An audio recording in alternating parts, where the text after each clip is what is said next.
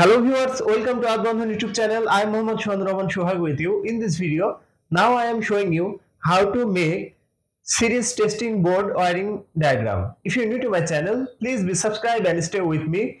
Press the bell icon for more my video. If you already subscribed, thank you so much. So viewers, let's start. Switch board, indicator lamp, 3 pin socket, switch, bulb holder.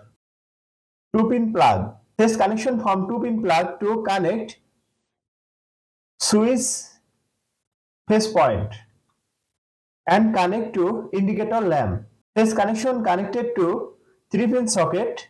Series connection from 3 pin socket to connect holder point.